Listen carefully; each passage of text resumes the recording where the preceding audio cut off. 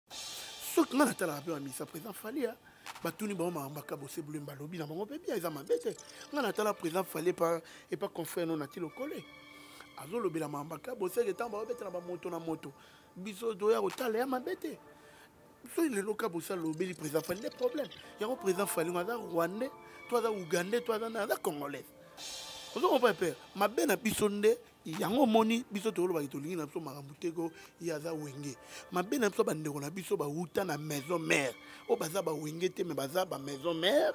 bakoma na esprit moko boye ke so moto aosangana kingandi seke akomi na kawana ok non il faut aswana motu tu ya kotuma aza misien congolais motu tu oyo azalaka ne bien akozala ne bien awuti osalela frère na biso patrick beckham image mpo na lewi max babeta na atlantiko exapati beka mabeta na wenge aza na wenge te et cindy aza la, la, la, la plus grande euh, euh artiste ya mouvement na ye ayemba koleka bato to baleka kuna il peut avoir raison oyembela cindy eleki bababi eleki bafali ezokoengage ye ngai ya naloba yango ke moto aleki kabo sebulelo na mama oyemba aza te mpo bato balobaka bagrand chanteur bana yesu ko azalaka fin chanteur moto asukisa mamba shakabo okamaki ya kotumba akaboma président de donc kabo si paza parmi ba toko compter na liste ba ba ba ba ba bon chanteur mboka te ya bon chanteur ya fin chanteur donc aleka ba niveau na ba bon chanteur ba bon chanteur ba ali eh, ba bon chanteur ba ali alors ota basalaka liste batangaka kabose te nani basalaka liste ntango feri asakali batunaka feri baquestion andimaka bamiel andimaka bamise ebele boski otalaka moto aosala baliste otanga bamiel bongo miel eyemba mabe boski miel yango otya na kabose ata yo moko yako nabiya aza mokitani bapapa wemba mokitanani ayebisaki eke aza mokitani bapapa wemba otika biloko oyo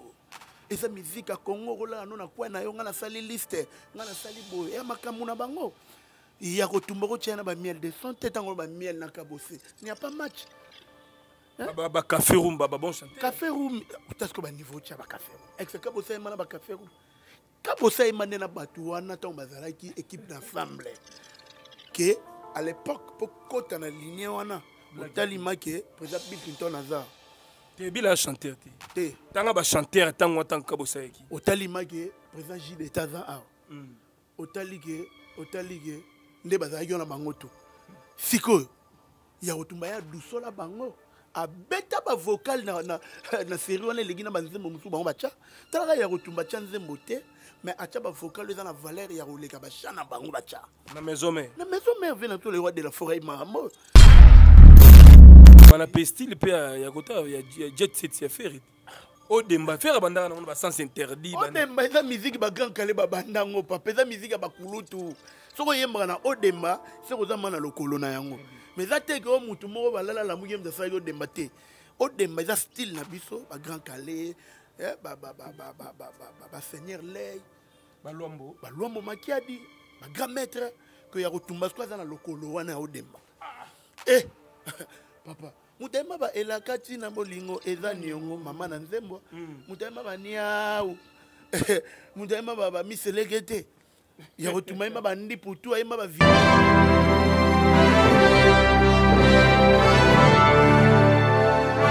Très heureux de vous retrouver encore une fois chez nous, mesdames et messieurs, chers amis téléspectateurs.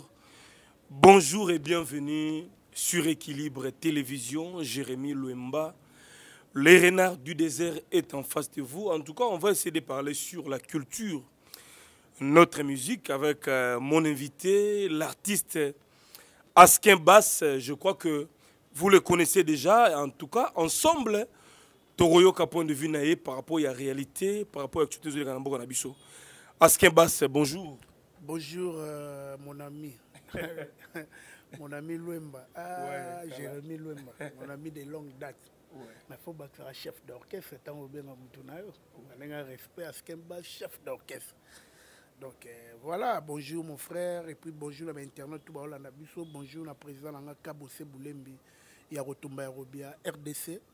babi ekolo eh, voilà Voilà, euh, merci d'être venu. Ça fait vraiment longtemps. Je crois que tu te portes à merveille. Santé Namoni, ça va. Présence Pesa Kitoko. Alors, bonne évolution en carrière. travaillé Boulembi, depuis depuis jusqu'à ce jour oza chef d'orchestre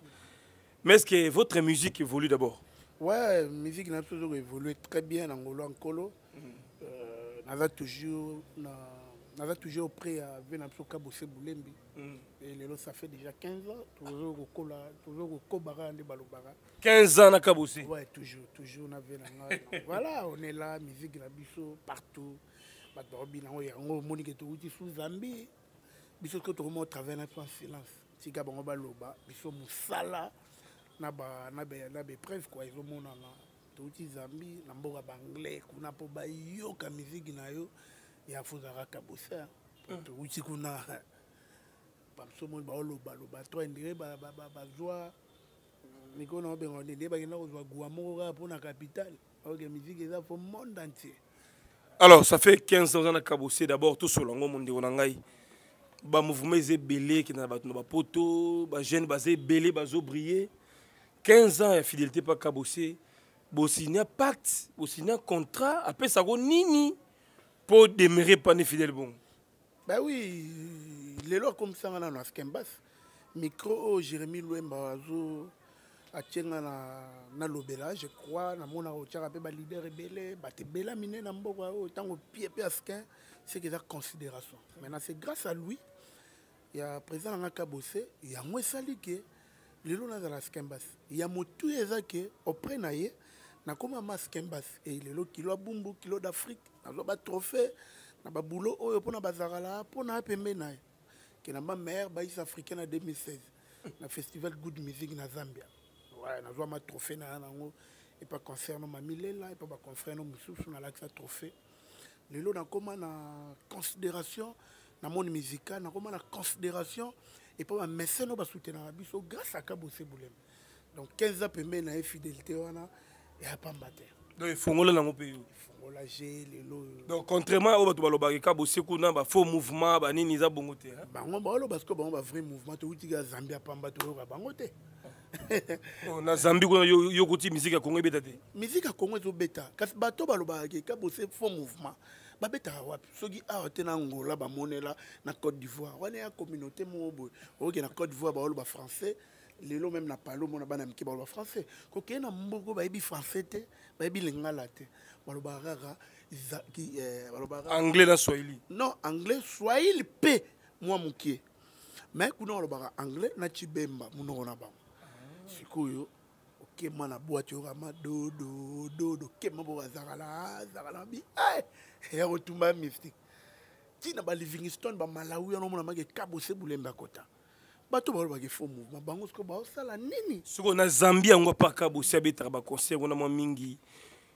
musique ya congo okuti mpe bacongolais mosusu mpe bazoyokana ndenge ezalaka ben oui eh? oui nga na koboya yango te hmm. nayebi te soki oyo bagénération oyo to bamikolo te musique na biso ya lelo mi classique ya lelo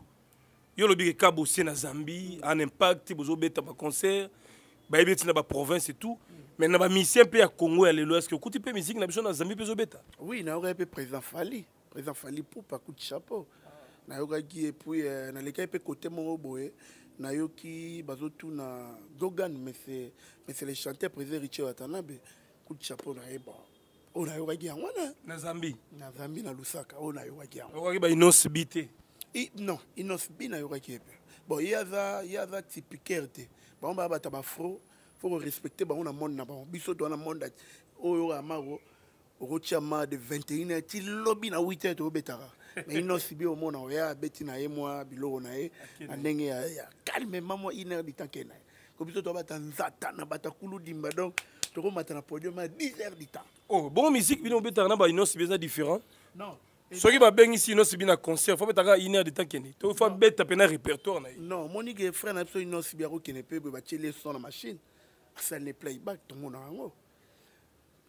boni mpo eza afrobeat ben oui eza afro biso ko toya bato ya ndombolo bato ya seben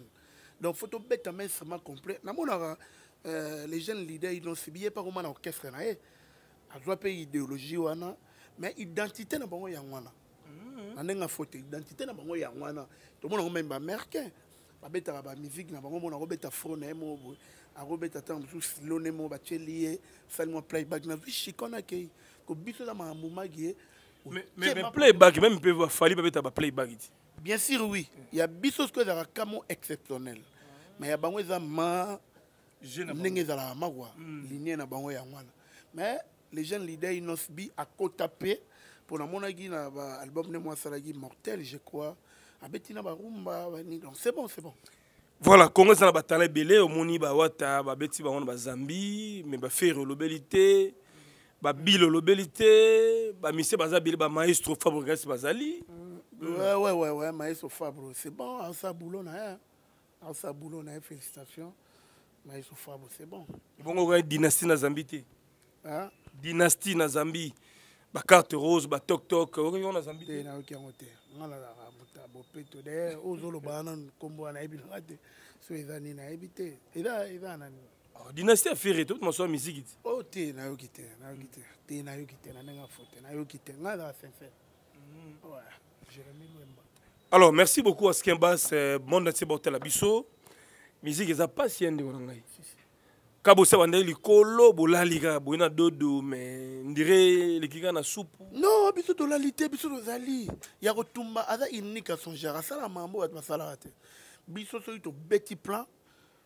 tobeti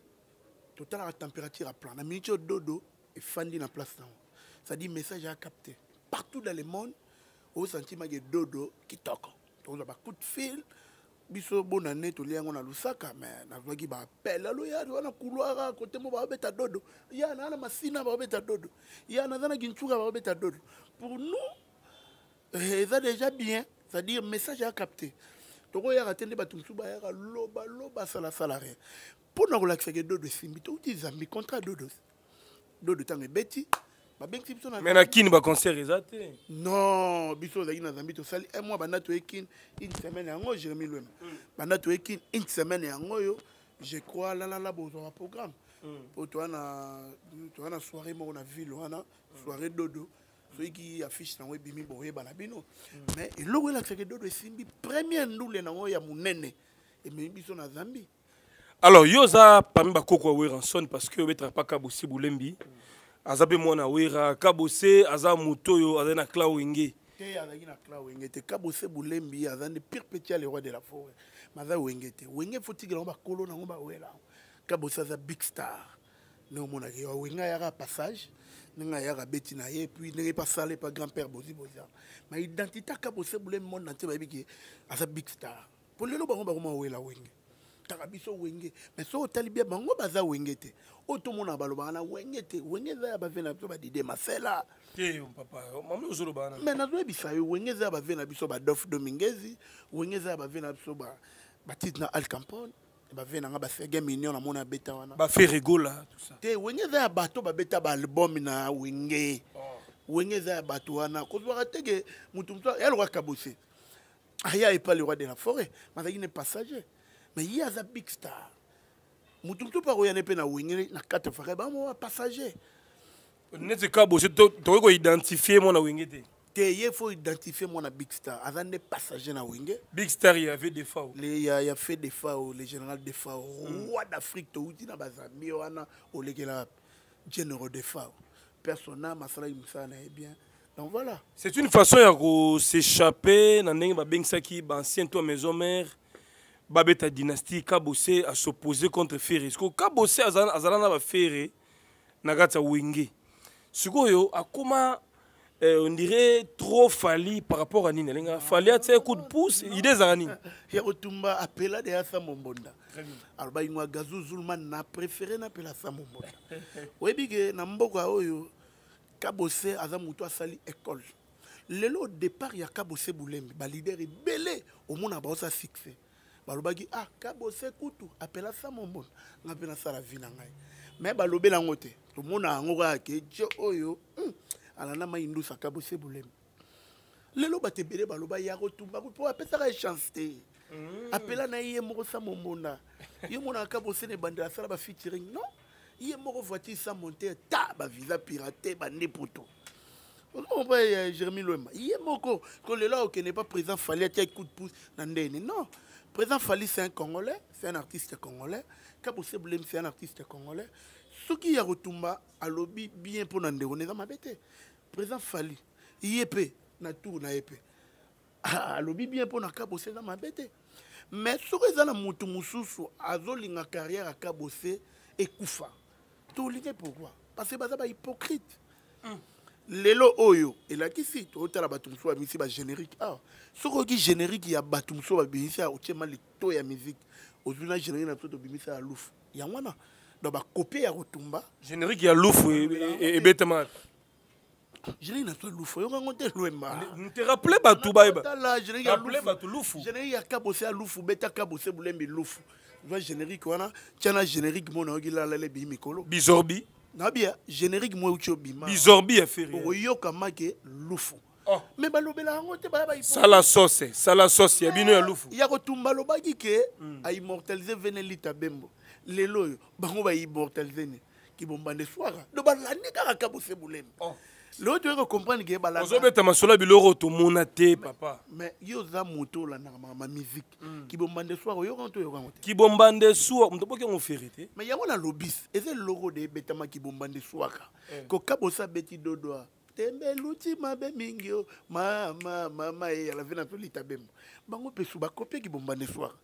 donc balandaka na bango rdc mpo rdc apesa yede ya modoto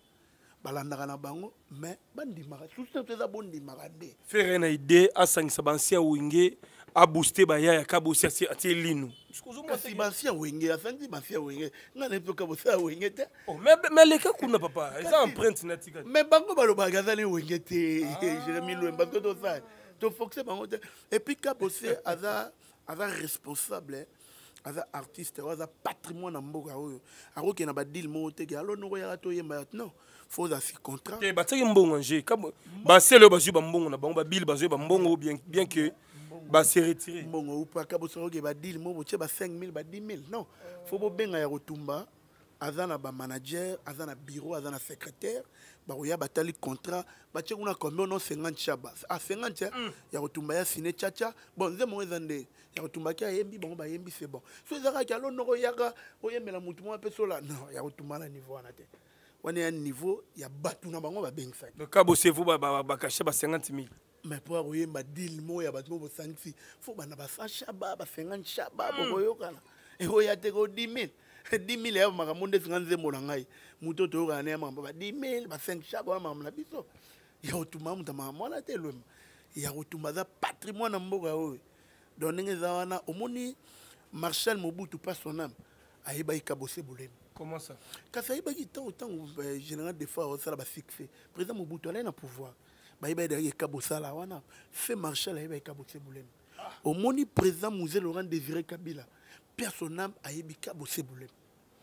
président joseph kabila président sortant ayebi kabose bleu président faci abi kabose bleu donc aza patrimoine ya mboka oyo bokozwa ye kaka te noko yaka toyemba dilimo eza wana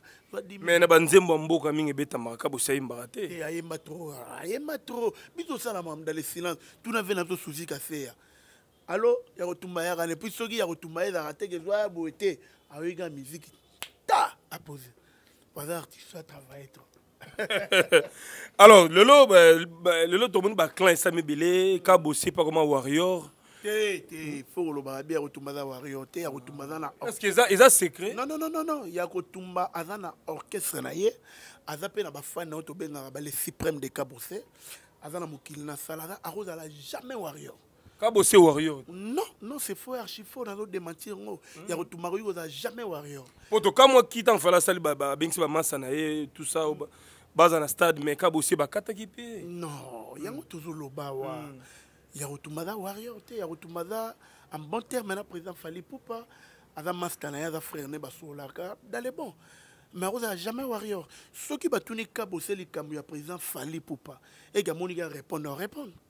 soki ngai natalaka mpe bamisa président fali ah, batuni bango makambo akabose bulemba alobi na bango mpe bia eza mabe te ngai natala président fali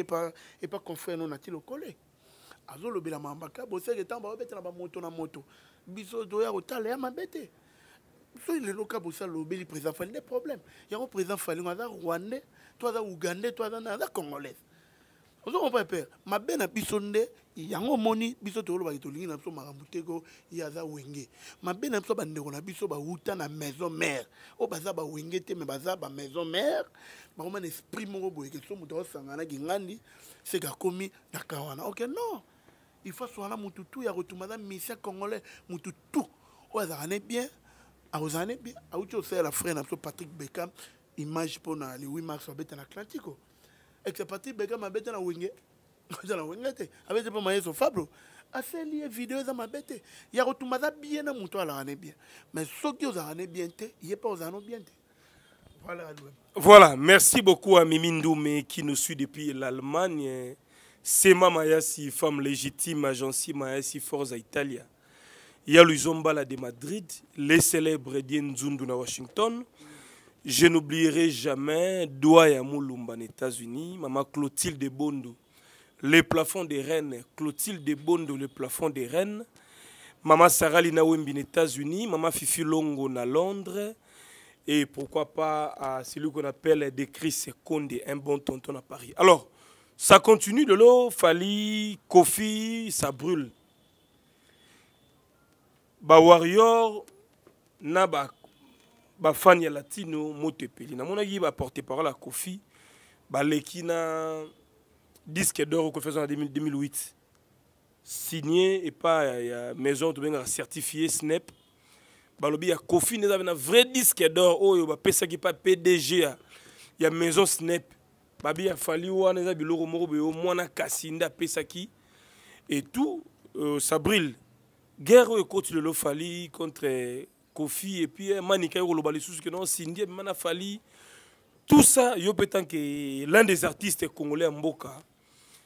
tu peux dire quoi par rapport à tout ça ngai nabeta jamais na quartier latin yave na biso rambo nabeta jamais pa président fali pupa soki bana baguerre na bango bango bayebi yango na ndenge ata normal non nazo répondre mpo tuni nga question mm, alwema mm. donc euh, nga naza wana naosala promotion ya dodo omoni makambo so eza makambo bafutilité to azwaki boye asalaki boye non oyo eza important bafaux disque dor emobima na bavrai yango na bilwema oyo eza important na musique congolaise to respecte nanu mare na biso yango na nde musique miziki ya makambo wana te oyo oh, baye baleki boye basali boye te nga na ucolo biso biso beti dodo touti zambi bazambi ya basepeli yango wana nde congolais to bafan na bonne musique baa nango beve le reste ce sont des futilités oyo aleki bo afingi oyo aleki bo asali boye po azwa base non mais guerre ya papa na mwana fali na kofi yo trouve en normal yanga etali nga na nini nga na betala nga na quartier latin te babomana baswana yanga nini baza bana mike te baza mikolo oh. ben oui baza ba mikolo et puis moi moi je crois que euh, nde nayebeli ve na biso rambo to nde nayebeli ve na biso fali pupa na ndimi nanga te bana baguerre so olandi bi eza kaka bachroniqueur na bango bato na bango bango nde baprovoka makambo babiro babiro oyo alekaki bo alobaki bo aleki bo alobi boye ça n'a pas de sens yango omoni miziki na biso soki okatika na mboka baanglais oyoka bato ebele balobaka bilobela bayebi bango te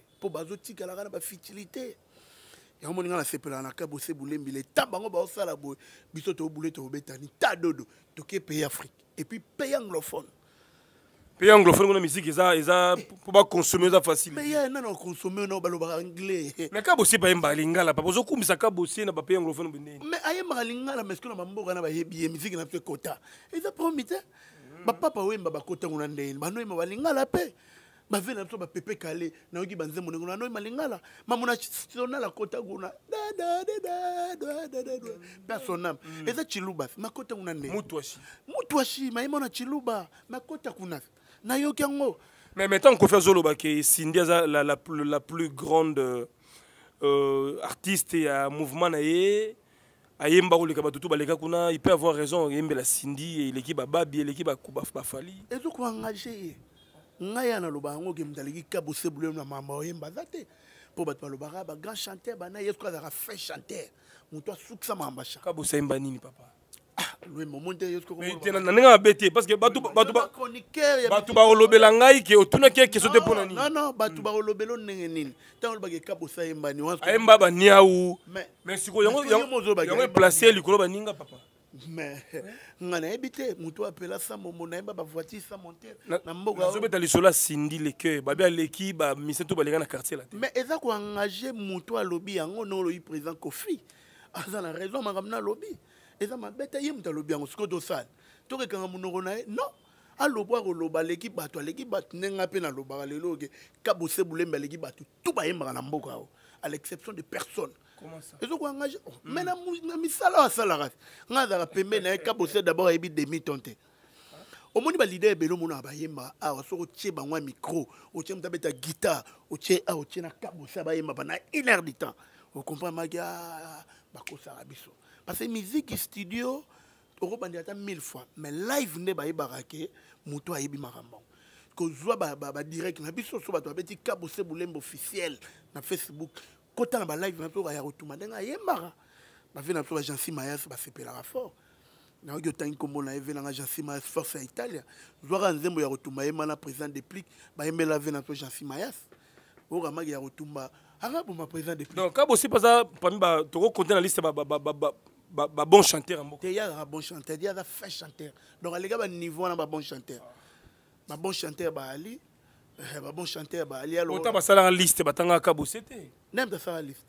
ntango ferre asakali batunaka ferre baquestion andimaka bamiel andimaka bamisi ebele bosko otalaka moto ya osala baliste otanga bamiel ah, bongo miel eyemba mabe bosko miel yango otyanaka bose ata yo moko ya kotuna bia eh? otuluna vraie question lwemana basalaka liste babon chantier na mboka batangaka kabose te aza nani na miziki ya mboka aza papa wemba aza nani aza mokitani ya papa wemba mokitani nani ayebisaki eke aza mokitani ya bapapa wemba otika biloko oyo eza miziki ya kongo okolala no na kwe na yo ngai nasali liste ngai nasali boye ya makambo na bango ya kotumba kotyaya na bamiel de son te ntango bamiel na kabose nia pas match bacafé roum babon café roum otaske baniveau tya bacafé roum exe kabose ayema na bacafé roum kabose ayema nde na bato wana ntango bazalaki équipe d'ensemble ke à l'époque mpo kota na linie wana otali make président bill clinton aza te bila ya chanteur te te tanga bachanteur ntango wana ntango kabosalaki otali make président gide eta aza awa hmm. otali ke otali ke nde bazalaki wana bango to sikoyo ya kotumba ya dusola bango abeta bavocal na, na, na série wana eleki na banzembo mosusu bango batya talaka ya kotumba atya nzembo te mais atya bavocal eza na valeur ya koleka basha na bango batya na maison mère na maison mère vie na to le roi de la forêt makambo yo monte le roi de la forêt alingaka kabose trop parce que ayebi makambo babengi musique ayebi makambo babengi koyemba soki sikoyo motu mwa asali classement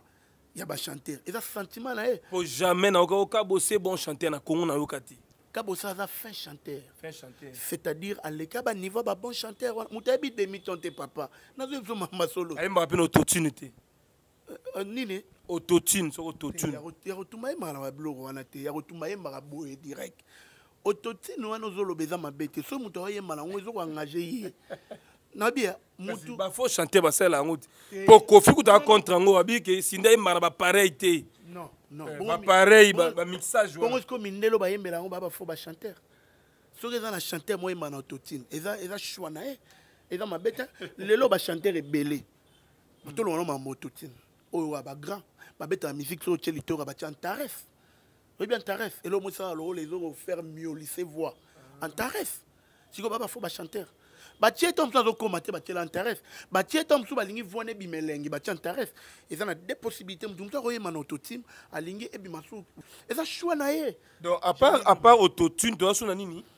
na bi antares antares eza eh. biloko ezalaka na machine na studio hmm. moto akoyemba batiela antares e eh, mabe te neti kaka bosemba nango ya kotumba antares en tout cas banda to banda mamono batiela ye te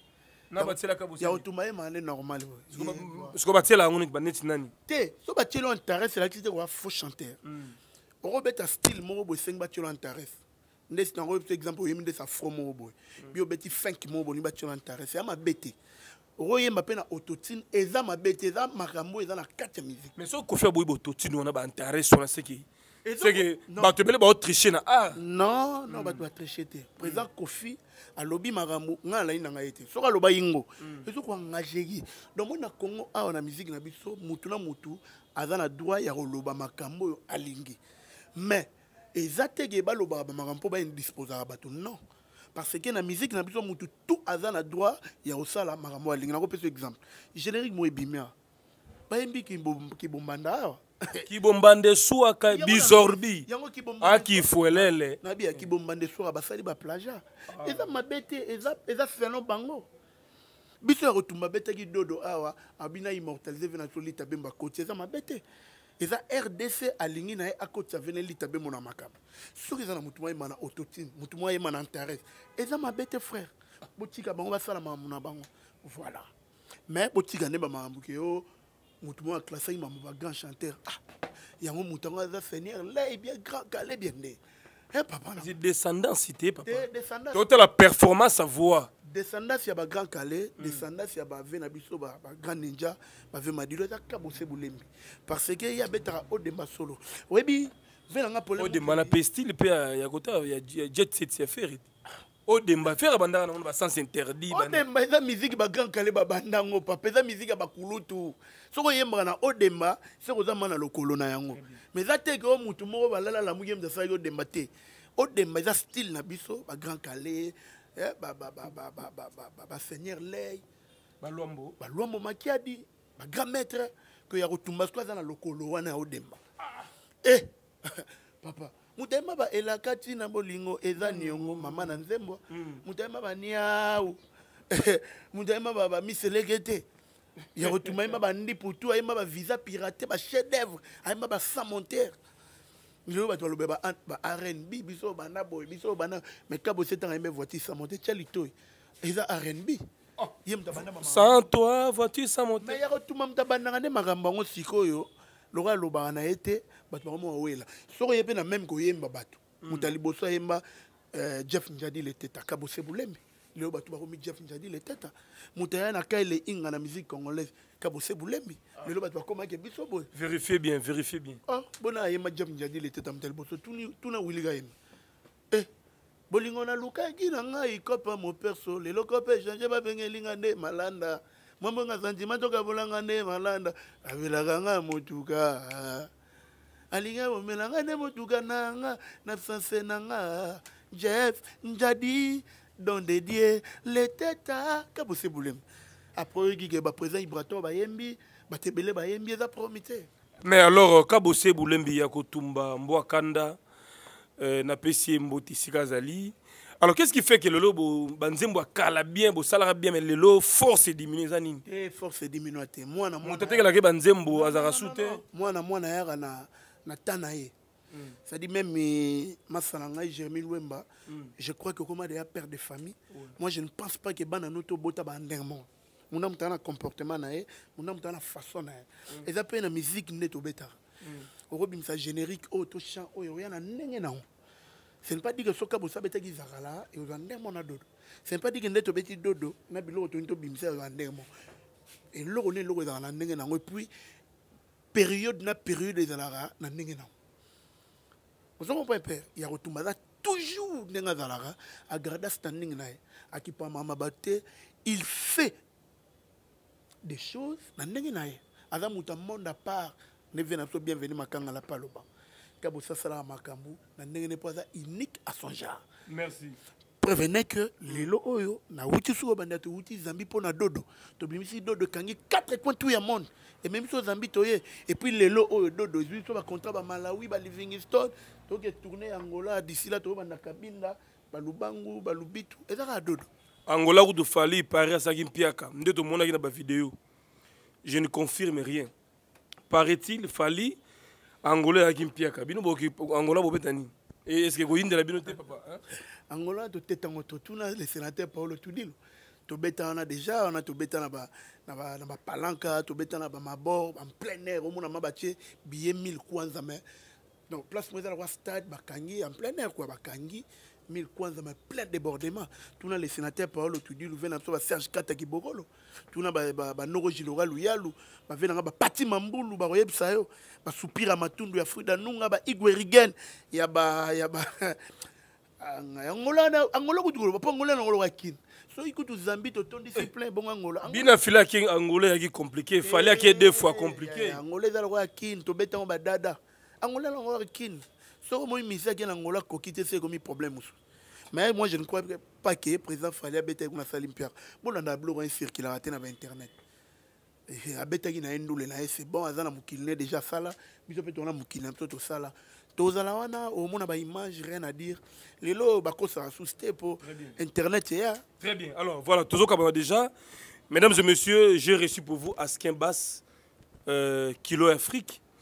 ba kilo ya bumbu eh? nga kaka kilo d'afrique nga kilo ya bumbu ngai mm, oza mwana bumbu ya solo nabotama na bumbu nakola na bumbu malgré nabima mboka yango mm. wana ya mabele na ngai nabima ndenge ezalaka mwana mbali obotami na na famille foka eluka mpe lelo tokoma kofutela balibanda libanda mais motulu na ngai bakunda yango na veni mafuta na maternité ya bumbu bakunda yango wana askembas donc naama mwana bumbu ya solo epuis représentant valable oyo adefandaka mabele na biso na elabas ndenge omoni bavie na biso gode lofombo bayali mm, ozalaka chez ependiri non non nazalaki pa vie te vie aza vie na nga mm. apesanga nde mpifo nde towana baguilain bas motu alakisanga bacharlie bas lelo wana mikili na france donc nga mba naza représentant oyo na defandaka mabele donc bana gale alors tomonaki mpe mabuma bas oyo azali pa fere epa kabosi asimbi guitare bato balobi koma moto akolonga pa fere aya koseretrouve pa kabose bato bakamwaki fort eza nini papa na ndeni me bato baokamwa auti na orchestre ya monene nde bato baoloba ye pa kabose ndeni na bia quartier latin orchestre moke ya gayard mete wana mise momani yango aza na bete pa verambo abeta bagénérique ebele kuna nani mani yango suppositoire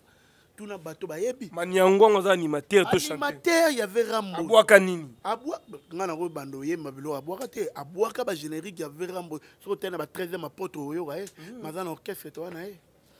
eh, toza nde na orchestre eke motu soki awuti na orchestre bato ayepaka bose ozomona orchestre na biso manteka to nini eh, ngoni ezaka mouvement te orchestre bamisia baya boye ngai na bassiste bachanteur mosusu babetaka na baorchestre wana oyebi soki otye ngai na ye awa kobima biro na nga na grand boule tala nde na yabo mise moko aza na bamakwin na ye naa na bachache na ngai mise na baguchi na ye ere oyo ana bamporio ne ere oyo ero ana bamporio ne bamonte oyebi so sisa coute combien nabeta epaka bose bolemi nalonga nzala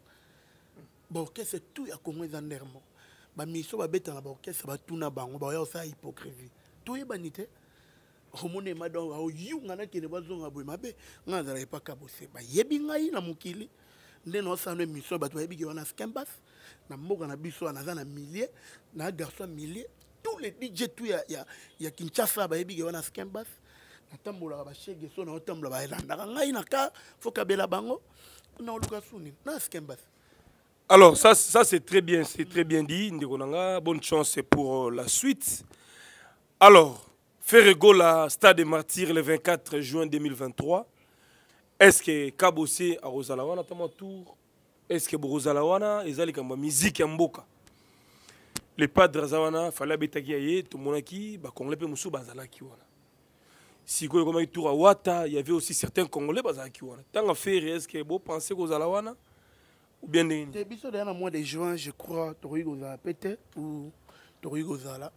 mais kokende na événement mutu na baniveau ya bakabo se bulembi bongo eh, ekozala bongo ta na niveau ya bakabo se bulembi so olinga oyo aya na na événement na ofo sala lettre ekoti na bureau baétudie yango si c'est bon epuis batali epakolami eza to eza te mpo aya aoyaka ata lave mai mpo babengaki akende non rien akosama meme nga mponaki événement motu fona azala invité alors est ce que ozalaka na espoir que demain après demain un jour ke kabose bulembi akozwa mpena bino bafidèle na ye akenda na mikili na poto mikili na mona miziki ya eloko te lwemba est ce que bopanse kabose apansaka mpe meme na mikili mais kabose nazoloba eh, lwemba kabose bulembi eh. aza artiste oyo aza na eloko so aprouve te na monde musical Hmm. mikili eza eloko te ya kotumba koloba kaka lobi tokee mikili awa enango eh, te est ce que apensaka mpe nango boza mpe na espoir parce que déplique asali yango na bamisie maestro asalaka yango mais ka bosse pas encore est ce que bopensaka nango mais mpo na kokende mikili fo bozwa contrat ka bosa kolala lamuki te bokanga bisaka toke poto bokesani bokobetaka tour bakatisaka ebale te mpo na komona mposa mboka voilà nde baloba non hmm. bakendaka na mboka avec objectif avec but biso soki contrat mikili eye ya kotumba tali ndenge ezalaka baélabore na bureau c'est bon toke mikili tobeti miziki tozongi mboka hmm. tokoke mikili teke bato nde bakoke na divaration président deplique olobi awumeli ya balobaka ah, deplique deplique deplique azwi contrat ne ake mikili ake beta c'est bon lelo soki kabo se buleni mpe azwi contrat toke mikili makosala te nde bato mosusu basalaka kozo ateki mituka na ye azwi lupangu na ye aketi yango na nini babenga yango nini ake kosimbisa lopango ne tobuka lopango mpo amema baya na mikili mpo amema non non non ya kutu makosala makambo wana te kabo se bulembi rdc mpo na akende mikili fo ezala contrat mais vike aza en vie vike nanu tokufi te mikili ya nango rien yaka loka nde touti zambi tomataki avion eh, toke na motuka te touta kenya tomata ethiopian yango ememaka bato ya mikili boke na ethiopian ba bokiti ah, na kenya bokiti na ethiopie bato ya france bazwi air france bakei bato ya belgique bazwi fn bakei tokenda nango tokenda kenya nde na boye nauti zambi lelo deuxième fois natamboli baafrika na avion mikili mpe mpo tokenda eza kaka avion eza nango eloo te mais mpo na kokenda yango fo tokenda yango na ndenge ya banorme ke contre ye kabose bulemba ake na bamisie mais inchallah nzambe nde roulage ndenge nga nalobaka mikili ya nango ya tokokenda voilà merci beaucoup c'était askin bas euh, mesdames et messieurs nous voici arrivé complètement à la fin euh, de cette émission clin d'œil spécial à tous nos abonnés ainsi qu'à tous nos partenaires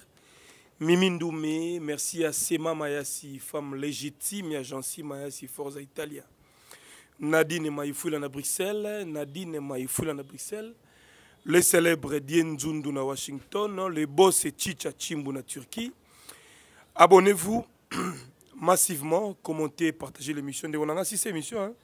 pesa numéro ya téléphone ba dédicace ouais en tout cas merci na bato botali biso na équilibre hein. euh, tv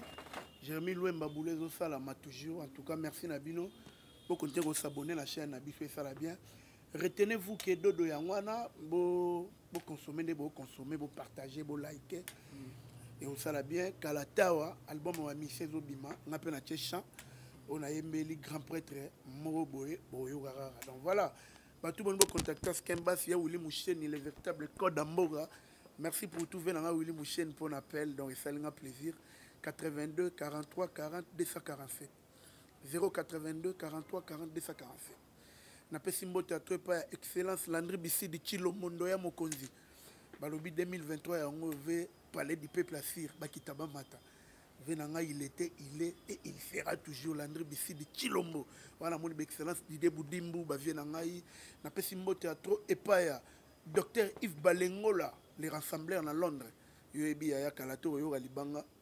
tozela plebma napesi mbote epai ya fredi ndongala les irlandais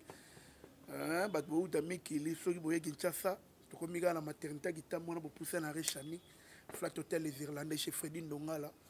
ve nanga merci pour tout napesi mbote ato epai ya guani matota top modèle na caroline du nord motema ya le padre de la nzeza na nzeza eloba vie na nga général defa opa son âme napesi mboto ato epai ya labrine mutanduskin mama ya bana mibali na allemagne labrine mutanduskin mon ami yo oyebi tosalaka nde tosololaki napesi mboto epai ya vrai shérif ya tatu merveille landu autrement dit merla na paris gele bana ndenge ezalaka encadre toujours balifanto mwasi ya pembe mare la marula napesi moto ya to na base na ngai na saint etienne de chine yinda garçon réel merci pour tout rifin kota japonais kelelo disho makenzi euh, napesi moto ya to epai ya ve na ngai alain dinamo mare na ngai viki mabanda ndeko ya sere na ngai anne marie mabanda ana luboloko nake na turquie mpo na koclotire napesi mbote epai ya mame, eh, mame mili bumbu motema ya président firo zephirin bana mikili inshallah inshallah nasuika wana ve na ngai eh, bienvenu makanga la paix wana baza mokonzi monde apart ve na ngai igela kuafe ikote mama zizel masamuna mama na isaac mama na jenny sibi mama na kecha merci pour tout ve na ngai eh, jacques jeko ngengi baza mokonzi merci pour tout ya wuli musheni code mondial merci vraiment